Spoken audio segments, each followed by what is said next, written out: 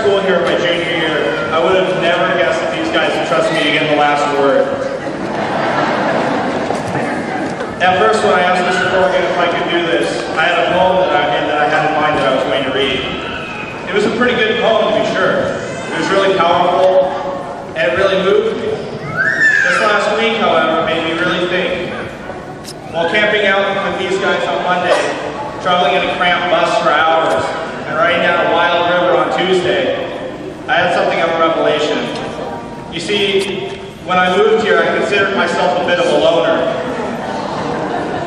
I like to consider myself a one-man wolf pack.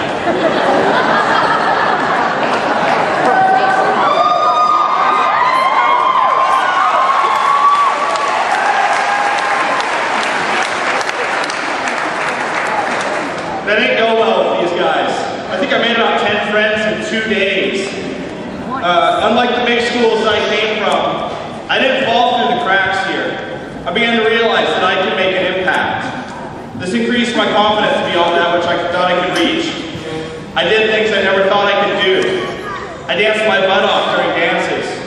Even if I made a fool of myself, I didn't care. I think I still have bruises from prom. I got to peers, and I realized my potential as an actor. And I made more good friends than I, never, than I ever had before. This week, I finally realized something about myself. My whole life, I've been trying to feel like I belong somewhere. I've lived in Seattle and Southern California, and I've been a part of five or six classes.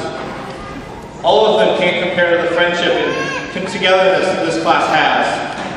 I can honestly without a doubt say that every single person behind is my brother or sister, and I love each and every one. Class of 2010, you are my wolf pack.